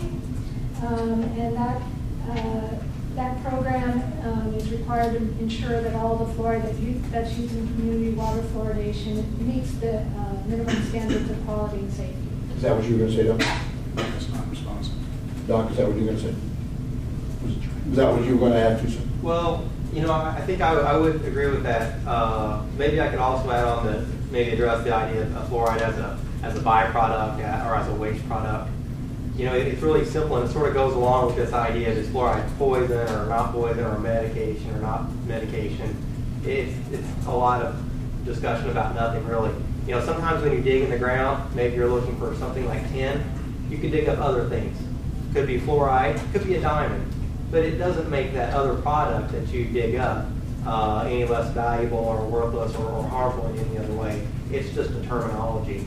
So uh, that's, I think it's important to point that out. Yes, Ms. Jones? I, I think, I think a question, a question I have is, all the communities that fluoridate their water in the United States, do they all use sodium fluoride? Do some use calcium fluoride? Is there a different type of chemical composition of fluoride that is used? I think that's part of the fact finding we need to do, um, in, in my opinion. Does anybody else in That- that's what I was use getting anything besides sodium fluoride? Yeah. That was probably the question. I can, I can answer this really easily. Uh, In Alaska, we use sodium fluoride in our, in our small systems. In almost everywhere else in the US, uh, use fluorosilicic acid, it's called silly acid is the common name for it. Here in Alaska, transporting that silly acid is, is too dangerous. It's, it's, it's very, very acidic. Uh, it's difficult to fly it around. I'm sorry, that's, uh, that's, that's, to me, that's scary, a- right there. I thi, I think we need some, we need some unbiased information, not using terms like dangerous to transport. Because that tells me right away, why are we putting it in our water if it's dangerous to transport? But chlorine, There's, there's chlorine no, is there's no awful. acid fluoride in Alaska. Well, I think people, haven't people died from the ingestion of too much fluoride in Alaska? And if there's a few communities that over fluoridated. There are community, I That- think one of our that's- military that's- bases That's what I was over going to get to fluoridated before the end of this. sometime in the last couple of years, and they were told not to drink their water for as many days as it took to get it out of the system. There are over-fluoridation issues due to the danger of the, of this, the stuff we're putting in our water that we also need to be aware of, and historically. And that's the questions I was trying to get to here toward, before the end of the testimony. Mr. Jagger, if you just bear with me. The next question, and I had to be Dr., is- is, and perhaps Awu can help identify as well, and perhaps uh, Mr. Ritter, if you've been doing the study with environmental health and water systems. My understanding is we have had instances, as Ms. Drummond said, of overfluoridation where- it's caused a concern for public health. Are are you aware of what those issues were? I understand uh, anecdotally through Leyland, the short conversation I had was to understand how it got to that point where they believe, but they don't know because they weren't part of the investigation before. Did you, did the public health department of the state or investigate or identify uh, causations and or um, the health concerns and what ramification consequences it? The, there are two situations in Alaska that I'm aware of where there was uh, over fluoridation of water. Uh, The first, uh, which is noted nationally because it was so tragic, uh, was at Hooper Bay. Um, And I was down with the state of Alaska at the time, but there was uh, uh, untrained or inadequately trained water plant operator in Hooper Bay. This was about, what, 20, 25 years ago? Uh, Twenty years ago. I think it was nineteen ninety-three, because there's a New England Journal, of- I have, and I provided to a New England Journal of Medicine article that well documents the Hooper Bay incident, as well as the internal. Briefly, Mr. Avery, you you had. the Hooper Bay incident, uh, was exactly 20 years ago, and we marked the 20th anniversary with a protest in front of the Okay. City hall.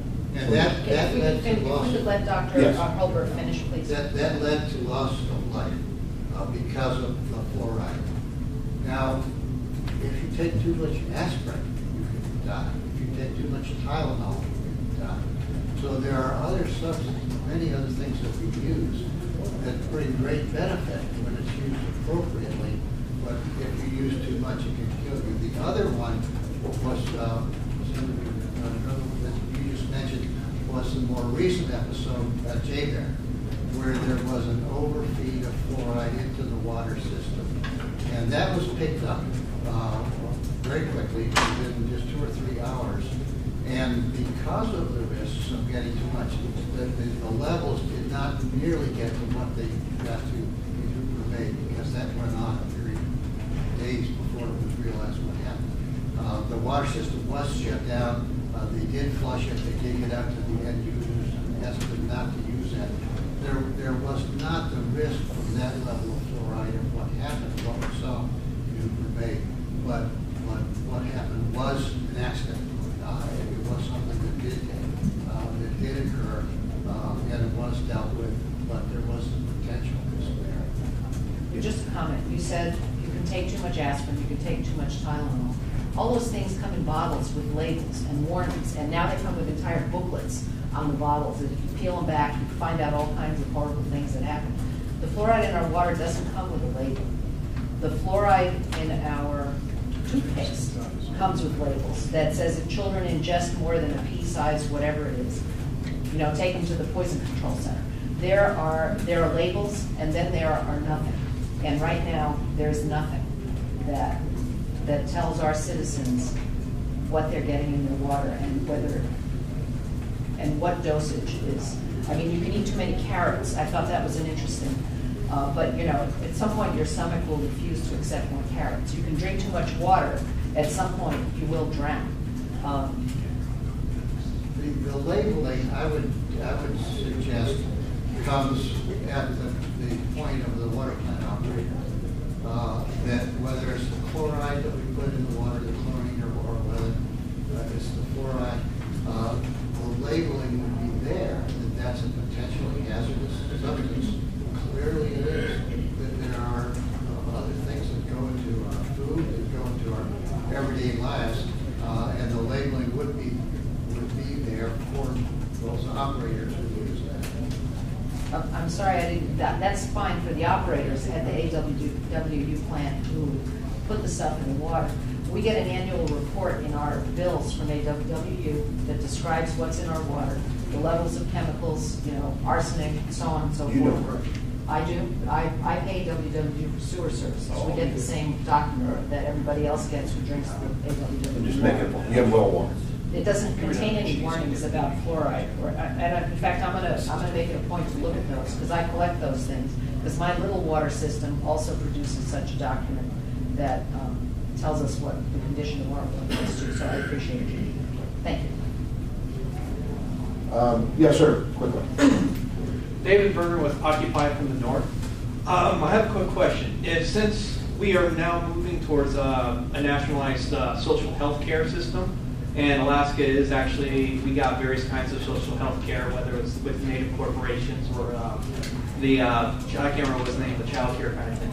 Couldn't we switch off of a water uh, fluoridation and go for a more targeted, direct action of identifying those that have the tooth decay issues and give them uh, fluoridated toothpaste or fluoride bottles uh, as part of the whole healthcare system that we're now going to start to institute in the next two years and so far down the line. Could we sort of change the way that we do the process? So I, I, I'm instead of- guessing this is a question that might be a suggestion of a Yes. solution. I get it. So I'm gonna write, I'm gonna note that, sir, and I appreciate your comment. Anything, Mr. Payne? You got a question? Just the doctor was correct. I was out there at JBER when that incident happened. It's because the machinery and the contractors running the fluoride system, putting it into the water system. They notified every gun base immediately. There were no health problems. Just a couple days you couldn't use the water. Did they follow up with monitoring people that might have health? We're not taking questions from the audience. All right, um, we're coming to the end of a, our time period allotted, and I do realize and know that we started a little later.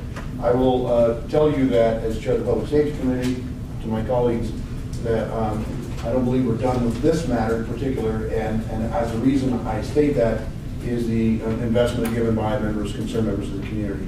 Uh, I'm very thankful that you, uh, Mr. Avery, I- I'm going to just recognize you momentarily, uh, your repeated uh, uh, appearances before the assembly to bring this topic up. Um, Ms. Drummond and Ms. Elder Jackson, I know, have asked me on repeated, Ms. Drummond in particular, can we schedule this for the Public Committee? And- And I'm sorry that it has taken so long to get here, but we, of course, have many other matters that we have to address. Ms. Sable, thank you for your uh, patience as well. I know that uh, this is something that we've had discussions on. um, And of course, with the utility, I appreciate your appearance. I understand it was a board meeting today, otherwise you might have had a few other folks in attendance, but um, very capably represented today, and I appreciate it. Uh, Sir, I appreciate your uh, comments, and, and I, I wanted just to address briefly one of the concerns raised. One of the reasons that we have midday meetings is, believe me, um, and it drives the clerk's office nuts. I have had meetings different times of the day, different weeks of the month, at different locations. It drives them nuts. They want consistency. They want, so the public knows when, second Wednesday, noon, at the, you know, wherever, and, and stick to it. It's, it's uh, something that drives people. actually changed. Excuse me? I, I was, on- when I left the assembly, I was under the impression it was the thirteenth until two days ago. I understand, and, and- and that's, that was my error, and I apologize for that. And I will tell you that I've addressed many meetings, many meetings, um, and I'm willing to meet anytime, anywhere. Uh, and, and I, and I, and I found that, look at here, at noon, o'clock- at noon today, we've got a, a pretty good sized number of turnout on one issue. We, we normally have two or three matters that draws significantly smaller crowds. So I will tell you that I think the public is fairly well represented here, and I appreciate your, uh, your passion to it. Mr. A comment. Another problem, your comment earlier, we- a lot of times we have a hearing on something Tuesday night, and people complain, why did you have the meeting at night? I can get off late anytime. So what we get is we get both sides of any question we have. I've done this for about 14 years. And I've heard from people that we want to meet in the daytime. I've heard from people we don't want to meet at night. There's no way you can make everybody happy, sir. So we, we do the best to accommodate, and believe me, we'll have a, a further conversation on the matter. Through the chair. And sir, I- you had one comment, I I just said. want Yes. Can I give this a second? Yes, you please, Just please. actually, uh, well, it's, it's a, it's a chart of, uh, tooth decay trends for fluorinated versus unfluorinated countries. Okay, That's all. very good, appreciate it. Yes, ma'am. I have a recorded message from Dr. Walsh, How long is the message? Uh, Forty-five seconds. Play it, please. Bring it up here. I, I will assure you that we'll be ending the meeting shortly, and if there's any uh, sidebar conversations, you can contact any one of the assembly members. Uh, You don't have to go through this committee to do it, but I will be issuing a report of our uh, uh, meeting for today and schedule likely a follow-up conversation. Sir, before we go, sir? So I I put my name on the list. Oh. It was not called. Uh, I'm sorry, you're Dr. Thomas? Yeah, I am Dr. Thomas. Okay, I've gone to you a couple times, I'm sorry. Well, okay, I thought, I just said I was not uh, speaking on behalf of CDC or in, or Yes. Native. I work for the Alaska Native Tribal Health Consortium. I just wanted to get it on record. Yes, Uh, please. Uh, um, I'm a doctor, Uh, I'm living, I've lived here in Anchorage for a number of years. I've also worked out in uh, rural Alaska, and I uh, support the uh, continued uh, possible fluoridation of the Anchorage water supply.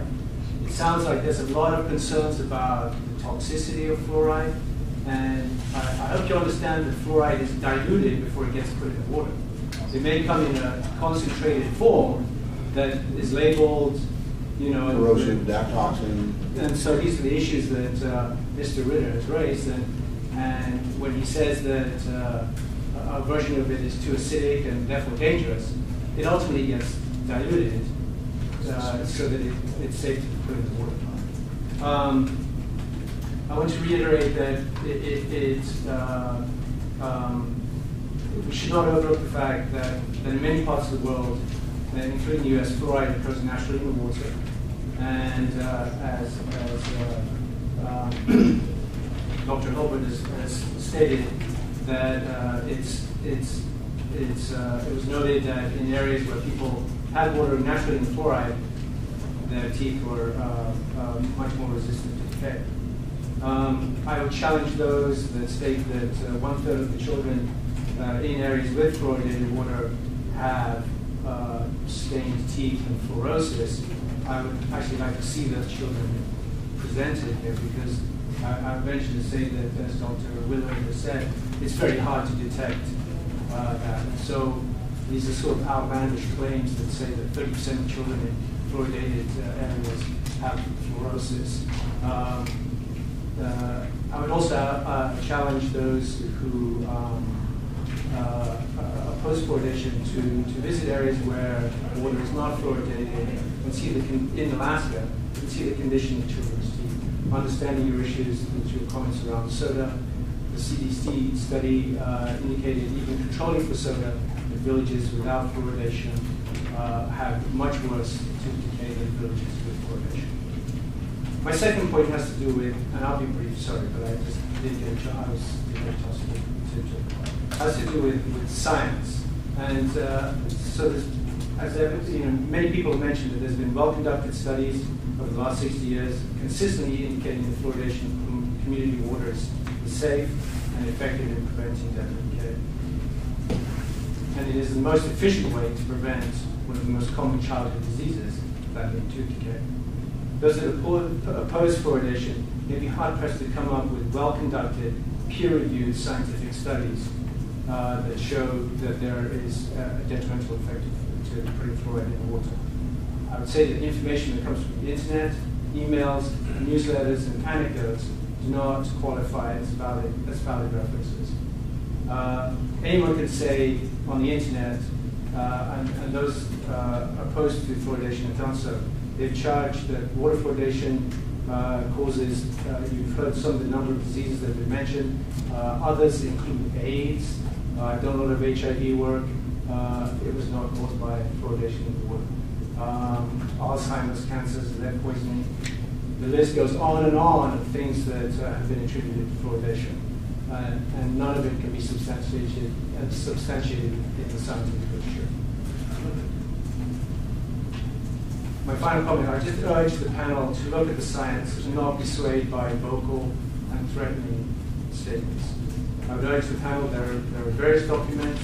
The ADA has put this document out. It's a very useful, very readable document called Fluoridation Facts, put out by the ADA. Hopefully we can get a copy of this to all members of the panel and the assembly, that they read. And uh, if the ADA is advocating fluoride, it seems to me that they are not, uh, they don't stand, they don't necessarily stand to gain by advocating for fluoride as the doctor here stated he's in the business of making money out of decayed teeth, but he's yet he's here promoting the use of blood. Thank you very much. Okay, um, let, us let's hear this statement. This is Dr. Walsh. I don't know his first name. He is a dentist at Health Center Dentistry. In Anchorage? In Anchorage, yes. Um, his office specializes in dental care and with the understanding of how it affects the entire body.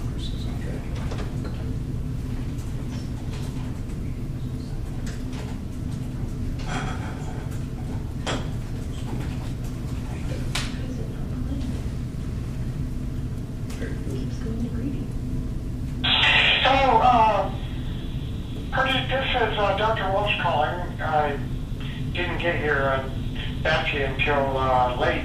You can uh, feel free to quote me to uh, uh, as being opposed to water fluoridation for a number of reasons. Uh, freedom of choice would be one, uh, informed consent, and uh, that it never has been proven on a long-term basis in all the longitudinal studies that I've read that it has a, uh, a beneficial effect, plus all of the health problems that are associated with it. So you can feel free to use my name and make those uh, comments. Thank you very much. Okay, so I, I want to point, sir, do you have a comment? One minute. Yeah. I'm Dr. Don Kowaleski. I'm a village dentist for the last 30 years from Lake Iliamna. I'm also the dental director for the largest village in Alaska, Anchorage. Uh, Have two full-time operating rooms that just do kids less than five years old. We have 200 kids on the waiting list to get into those operating rooms due to the devastation of dental decay. On average, 40 to 50 patients present to our dental emergency room per day. That's all related to dental decay. If you decide to remove fluoride from the water, that will definitely increase our load, as you can see on this, it's tremendous right now. So your position is? Fluoridate.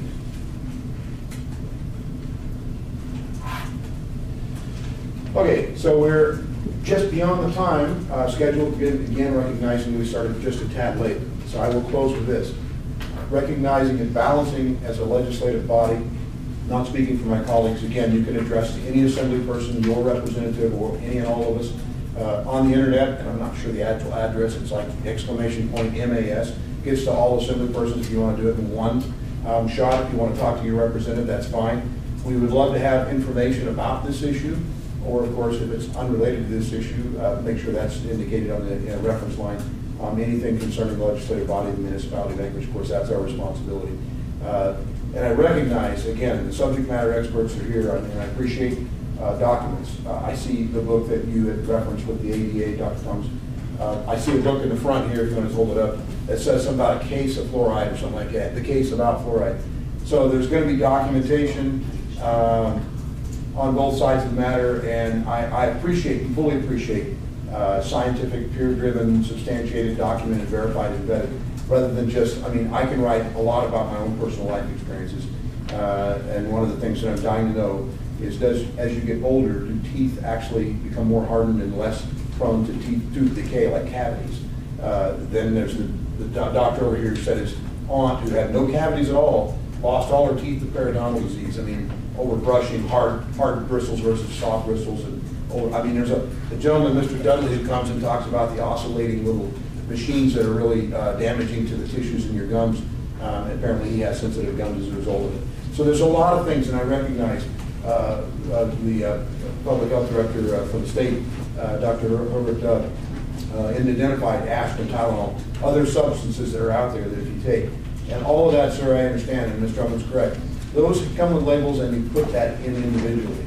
Uh, we're talking the public's concern about the government, its government, placing a substance into its drinking water. And it's a concern enough that it, it is a topic that needs to be publicly discussed, thoroughly investigated, fact-found as best we can to make informed decisions as policymakers. And I want to just throw it right back onto the public. If your legislative body isn't doing it for you, if you don't believe that it's a decision we should make, that there's also ballot initiatives that can be placed on our ballot, there's a process. I encourage you to look into it. Uh, I, I would ask, and I think it was stated, stated more than once, I would ask that you be very cautious that we take this, you know, government's a slow-moving animal. Yeah, we can, we can institute a law on any given Tuesday night, but typically there's unintended consequences if we go too fast and we miss a few things. And I know Mr. Traini can speak with years of experience. We've got to go back and amend it. So consider our laws like a big piece of silly putty, it just keeps getting shaped and reshaped. And uh, that's the approach I take. So I appreciate the deliberate discussion. I appreciate the respectfulness of the, and the dialogue from within, within the community. And it's concerned citizens and subject matter experts, as well as the subject matter experts within the medical profession, as well as the agencies and organizations. Uh, So with that, I, I say stand by. We've not heard the, the last of this, I am sure. Uh, But I wanted to make sure we had a thorough vetting, uh, thorough process uh, two hours. This is probably as long as we've ever had on any one subject, Mr. Ingram. So I wanted you to know that we've had this. Ms. Engel, thank you again for the health department. They will appreciate it. Please, if you have any documentation, you would get to us uh, through this process. Ms. Kate is at the front. Make sure we have your email. Uh, We can send it out as a reminder. I know that some of you are involved in other projects. We'll get to you the next week or so. It's not a problem. Please get it to us as soon as you can. And with that, uh, it is now 2:10 and we're off record end of the committee.